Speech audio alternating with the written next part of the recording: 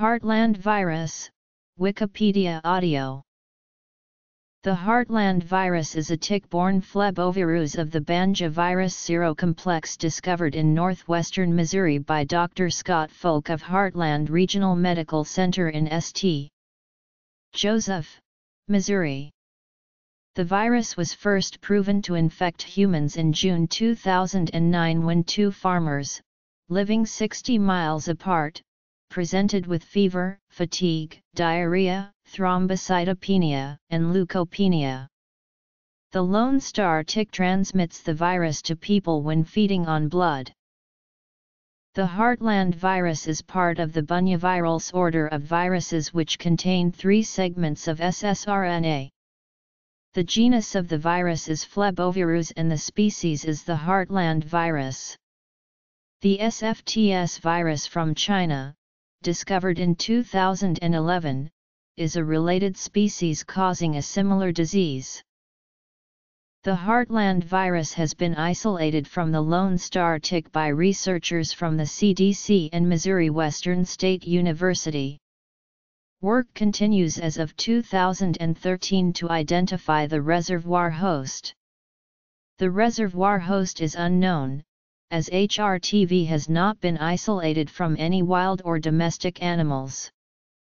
Many white-tailed deer and raccoon from northwestern Missouri had antibodies to HRTV, suggesting that these animals may be hosts. In a retrospective study using convenience samples of different animals sera only deer, raccoon, coyotes, and moose had antibodies against HRTV.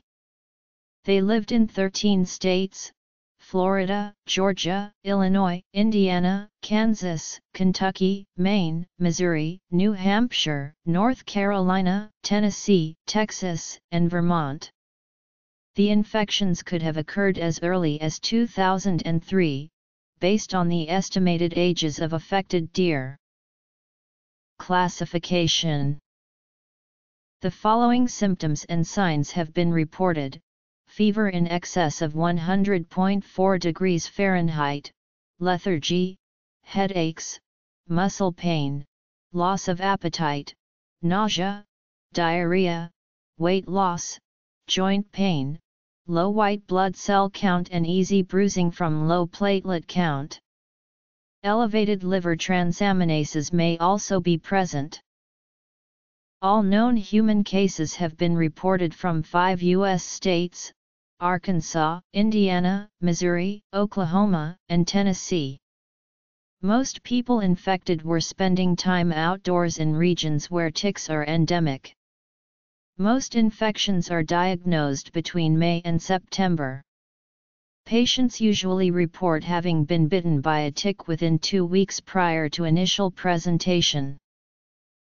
Diagnosis is currently through the elimination of other causes of infectious diseases with related symptoms like ehrlichiosis and anaplasmosis or if the patient fails to respond to treatment with the antibiotic doxycycline.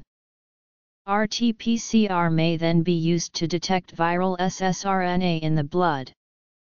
Antibody titers against the virus may also be used to indicate infection with the Heartland virus. Treatment is nonspecific. Antibiotics are not useful against viruses. Intravenous fluid administration and medications for the relief of pain are currently the best options.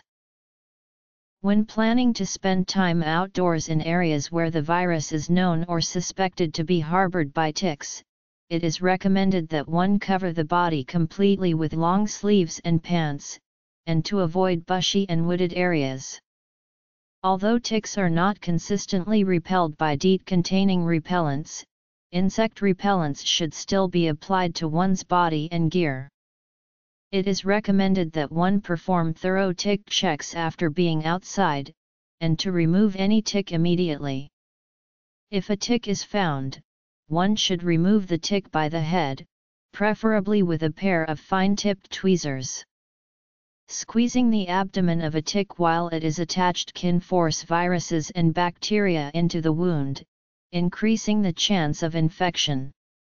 Crushing an unattached tick will also release bacteria and viruses from its abdomen, which may then be able to enter a wound or burrow through the skin. More than 20 human infections have been reported in the United States.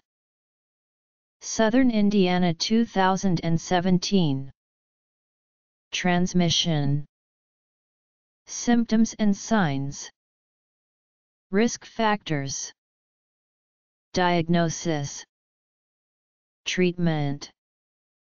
Prevention. Cases